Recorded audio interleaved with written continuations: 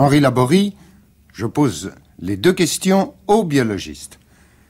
La rencontre des autres et de l'environnement met-elle des obstacles absolus à l'établissement de la fraternité? Et est-il techniquement possible d'exclure les rapports de domination des rapports avec autrui? Quand on agit sur l'environnement pour se faire plaisir, et ça, se faire plaisir, c'est maintenir sa structure, sa structure d'homme, sa structure d'individu. On rencontre les autres, les autres qui veulent aussi maintenir leur structure. Alors, quand on voit ce qui se passe chez une, dans des espèces animales, prenez des rats, vous isolez un rat pendant quelques, quelques semaines, et euh, il devient agressif, vous le remettez en condition sociale, il va devenir, du fait de son agressivité, assez souvent dominant. Que ça veut dire qu'il domine? C'est-à-dire qu'il se fait plaisir, il maintient sa structure avant les autres, et contre celle des autres. Il boit le premier, il mange le premier, il copule le premier. Et finalement, dans les sociétés, c'est la même chose, avec cette différence, que l'homme a le langage, que l'animal n'a pas. Si bien que la domination, l'établissement des hiérarchies chez l'animal se fait pour la durée d'un individu. Alors que chez l'homme, grâce au langage, on institutionnalise les, règles de la hiérarchie. Et grâce à cette institutionnalisation des règles de la hiérarchie, on transmet de génération en génération le règlement de manœuvre, la façon de s'y prendre, pour arriver à être dans les dominants.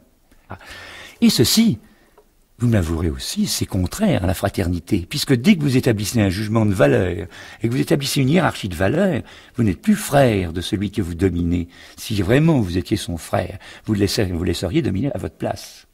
Oui, pourquoi est-ce que je domine? Je me pose la question.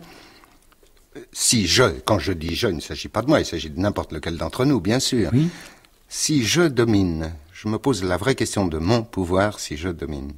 Il faut que j'avoue que c'est parce que je sais je sais une chose que mon voisin ne sait pas. J'ai un tuyau aux courses, je sais que tel cheval va gagner. Oui. Ça aussi, c'est du pouvoir. Je sais démontrer tel théorème et ça va me permettre de comprendre telle situation, etc. En fin de compte, le pouvoir à notre époque, c'est euh, le pouvoir de l'information. Oui. Je peux supposer que je détruirai les hiérarchies fatales à la fraternité en répandant l'information et je vais par exemple euh, inscrire à l'article 1 de la Constitution que l'homme pourrait élaborer le droit à l'information. À l'information la plus générale, c'est-à-dire le droit à la connaissance. mais je vous interromps. Jusqu'ici, vos informations, telles que vous nous avez décrites, je sais plus que l'autre, donc je commande, etc., sont des informations professionnelles. Hein, le même pour être un grand joueur de tennis et battre quelqu'un d'autre, il faut être un professionnel du tennis. Et toutes nos hiérarchies sont basées sur un savoir très restreint qui vous inscrit dans une hiérarchie professionnelle. Mais je ne suis pas persuadé qu'un monsieur qui sort d'une grande école est plus renseigné sur la façon sur les règles biochimiques qui, comportent, qui, qui règlent son comportement, qui commandent son comportement, qu'un ouvrier spécialisé de chez Renault, vous comprenez? Donc, son, son inscription au monde, sa façon de réagir dans un environnement, elle sera faite d'une façon différente, parce qu'il dira « je suis un merde parce que je suis sorti d'une grande école ». Mais ce qu'il aura appris dans cette grande école, c'est une des connaissances très spécialisées qui lui permettront de faire des machines-outils, peut-être. Ce sont des recettes? hein, Des recettes, mais c'est absolument pas ce qui lui permettra d'être un homme, un homme vivant dans une certaine époque au sein d'une société humaine. Et ça, je crois que c'est l'information généralisée. C'est pourquoi j'ai dit général. Bien sûr. J'imaginais la connaissance au sens scientifique, au sens politique euh, le plus simple. Je l'imaginais dans toute espèce de domaine sans exception. Mais je, je dis bien sans exception. Mais y compris la connaissance de soi-même en technicien de soi-même, en biologiste, en mathématicien, en physicien et en philosophe, parce que je ne vois pas qu'on puisse se connaître à moins. Et ce sont des conditions, bien sûr. et ce sont des conditions euh, bien exigeantes euh, que je pose. Mais alors, il y a une conséquence immédiate. Est-ce que tout homme, elle est peut-être naïve ma question, je sais qu'elle est naïve, mais je la pose quand même. Est-ce que tout homme est en mesure d'accéder à la connaissance? Alors, je réponds. Et est-ce que l'on donne, est-ce que les conditions sont réalisées pour faire accéder tout homme à la connaissance? Ce qui d'ailleurs ne fait que repousser le problème, car si je suis amené à constater que les conditions ne sont pas réalisées pour que tout homme accède à cette connaissance générale, alors non seulement il n'y a pas fraternité, mais il y a refus de l'établissement d'une fraternité. Pourquoi? Alors je réponds à ceci, que la connaissance générale telle que vous l'avez décrite un instant, à mon avis, c'est pas celle-là qu'il faut obtenir. Il ne s'agit pas d'une connaissance générale de faits particuliers. Il ne s'agit pas de l'accumulation de faits particuliers, il s'agit de certaines méthodes. De même qu'avec la notion de dérivée, on peut traiter des quantités de faits particuliers. Je pense qu'il y a un certain nombre de notions qui sont à apprendre très tôt au petit de l'homme, de façon à pouvoir fournir à son système nerveux la façon de s'y reconnaître dans un environnement extrêmement désordonné. Avoir une clé. Et par exemple, si vous voulez d'ailleurs, regardez, même sous nos yeux, je pense que la, la grande force, force du marxisme de nos jours, c'est d'avoir fourni une grille. Elle est ce qu'elle est, mais la grille qu'on met partout. Celle de la psychanalyse, la grille. Et quand vous voyez les marxistes, quand vous voyez les psychanalystes, plus de problème. Ils résolvent tous les problèmes, ils ont leur grille. Eh bien, au lieu d'avoir une grille spécialisée, parce que l'une est sociologique ou économico-sociologique, l'autre est psychanalytique et psychologique, bon, elle est toujours dans le domaine des mots, avoir une grille valable pour les problèmes généraux qui se posent à l'homme contemporain. Et ces grilles existent. Mais Donc c'est ça l'information généralisée. Celles que vous venez de définir, j'ai envie de dire qu'elles ne sont pas opérationnelles du tout, surtout à notre époque. Elles l'ont peut-être été, elles ont peut-être été supposées telles, elles sont peut-être reconnues comme telles, elles sont crues telles par un certain nombre d'individus et ce nombre est élevé, mais vous m'accorderez qu'elles ne sont pas opérationnelles et bien sûr, il y a deux notions que je développe et qui sont faciles à comprendre par n'importe quel enfant, même de classe de sixième. L'expérience a déjà été faite. C'est la notion d'information.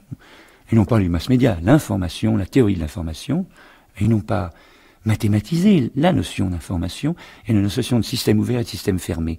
Ce qui fait que, qui fait comprendre qu'on ne peut jamais se limiter dans un groupe humain à ce groupe humain lui-même, qui est toujours introduit dans des ensembles sociologiques plus grands, et que justement ça va, ça va à, l'espèce. Et que si on ne voit pas les rapports, ce que j'appelle les cerveaux-mécanismes, c'est-à-dire les rapports entre le système englobant et le système englobé, qui va de l'espèce humaine jusqu'à la molécule, eh bien, on n'a pas de méthode à sa disposition qui soit efficace et qui soit opérante, comme vous le voulez. Mais ceci n'est enseigné nulle part. Mais bien sûr, c'est pas enseigné nulle part parce que ça, fait, partie, ça fait partie aussi d'une science qui se développe actuellement, qui est la science des comportements. Parce que entre la physique, la thermodynamique et le langage, toutes les sciences dites humaines, qui sont des langues, des sciences langagières, même la sociologie, qu'est-ce que c'est? On demande, on fait des enquêtes sociologiques. C'est toujours par le langage qu'on passe. Ce langage n'exprime qu'une toute petite partie très superficielle de notre comportement, notre comportement conscient. Puis il y a tout l'inconscient qui est derrière, qui meuble et qui, qui, qui, qui, anime le langage. Eh bien, entre ça, il y a toute une science à construire, qu'on construit actuellement, qui est la science des comportements. Comment fonctionne un cerveau, un cerveau humain? Et, et ça, je pense que c'est indispensable et qu'il faut, faudra très tôt l'apprendre dans les écoles. Parce que un homme des générations qui vont venir ne pourra pas situer à sa place dans l'espèce humaine, dans les sociétés humaines, sans la connaissance de ça. Ça sera aussi important, sinon beaucoup plus, que la table de multiplication et le problème des robinets. Vous comprenez C'est beaucoup plus fondamental. Et sans ça, il n'y aura jamais de vraie fraternité. Parce que ce qu'il faut comprendre, c'est que même si cette notion de fraternité se comprend intellectuellement, si même si on sait bien que tous les hommes sont, frères, par leurs acides désoxyribonucléiques, par leur génome, même si on le sait, ben, il y a tout ce, qu'on, tout, ce qui fait que, effectivement, on voit qu'ils ne sont pas frères, et, et ça, c'est la, la pulsion hypothalamique, la recherche du plaisir, la recherche de la dominance, les, la mémoire, les automatismes socioculturels qui font que les sociétés, les groupes humains ont leur règlement de manœuvre qu'ils imposent pour leur survie personnelle contre les autres groupes humains, et tant qu'on n'aura pas compris ça, il n'y aura pas de fraternité possible. Parce que on peut admettre qu'elle existe dans des petits groupes, ou dans disons dans des groupes de tailles différentes. On peut admettre qu'elle existe euh, dans tel village, dans tel hameau, dans telle famille, dans telle commune on peut admettre... Euh, Parce qu'ils ont des intérêts communs. On peut admettre qu'elle existe euh, dans telle euh, communauté, puisqu'il en est en question à notre époque. Oui. On peut l'admettre. Hmm. Ce que je constate dans les petits groupes que je viens de désigner, dans tous ceux que je peux connaître, j'ai vu que des fois des rapports étaient authentiques pour parler comme les anthropologues. Mais je n'ai pas vu la fraternité. Oui, c'est-à-dire que je, reviens à ce que j'ai dit au début. Je crois que dans le mot. J'ai vu que les gens se connaissaient, qu'ils avaient une pénétration poétique, souvent les uns des autres, Mais si je suis convaincu que une pénétration poétique est indispensable à l'individu pour que la fraternité se réalise, parmi les multiples conditions nécessaires, je suis néanmoins convaincu que les poésies en acte, je fais un pléonasme, mais j'y tiens, que j'ai constaté étaient limitatives, elles n'étaient pas fraternelles. Oui. Euh, j'ai vu des scènes communautaires qui étaient des combats. C'était pas du tout des réunions. Oui, remarquez que c'est déjà un progrès. En sens qu'un combat, un combat, euh, s'il ne va pas jusqu'à la mort des combattants, euh, c'est déjà un moindre mal. C'est que de nos jours, le combat est de tout temps. Dans l'espèce humaine, le combat était jusqu'à la mort du, vaincu. Donc euh, déjà, essayer d'affirmer son autonomie, ce qu'on appelle la personnalité, c'est-à-dire le moi, c'est-à-dire l'ensemble de ses pulsions, de ses automatismes et de, son imagination. Essayez de, dire euh, j'existe, voilà ce que je pense, voilà ce que je suis. Se heurtera toujours à un autre j'existe. Et euh, il y aura toujours certains antagonismes. Mais ces antagonismes peuvent être, à partir du moment où on sait sur quoi ils se basent, on sait que c'est une pulsion fondamentale, on sait que on a depuis l'enfance obéir à des automatismes socioculturels qui sont devenus strictement inconscients. Le bien, le mal, le beau, le laid. On vous a appris ce que c'était. C'est très difficile de s'en débarrasser de ça.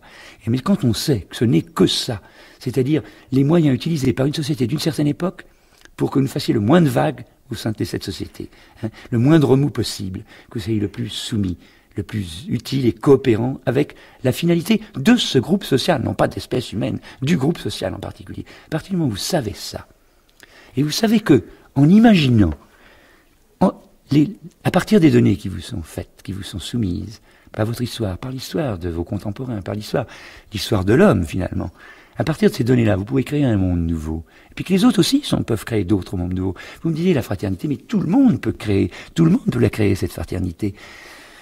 Il y aura antagonistes, chacun voudra défendre sa notion de fraternité. Mais imaginez que nous voulions tous défendre la notion de fraternité. Ça serait une sacrée fraternité. Or, nous ne voulons pas défendre une notion de fraternité actuellement. Nous voulons défendre l'individualité ou ou la notion de groupe social dominant. C'est tout.